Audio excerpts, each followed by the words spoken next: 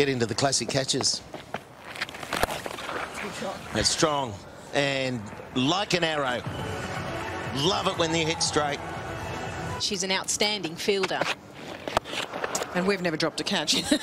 Clearly. Six. Oh. Out of the middle.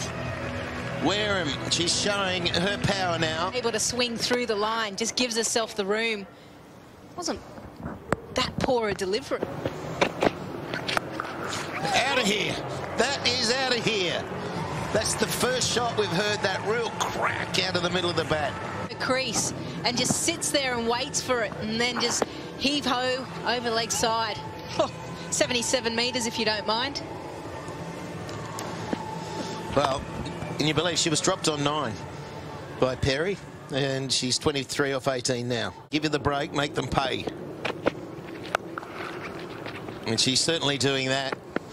Money for jam on that occasion. That is a full toss. It is so incredible. If you get that first one away. Sure if there's much wind out there, and I'm not trying to make an excuse for Stella Campbell, but it can make a lot of difference. Bowled beautifully from that far end.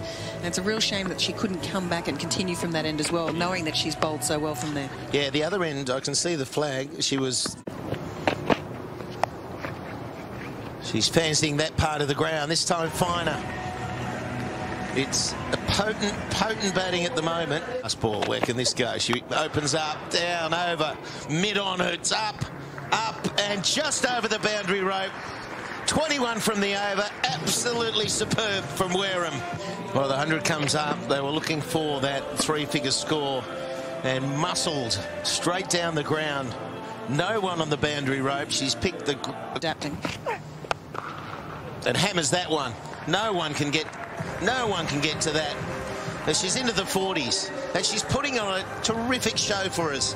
Came into the WBBL a number of years ago, played the one or two matches. Obviously, bowling is what she's renowned for. But Wolfie, as she's uh, affectionately known, is now...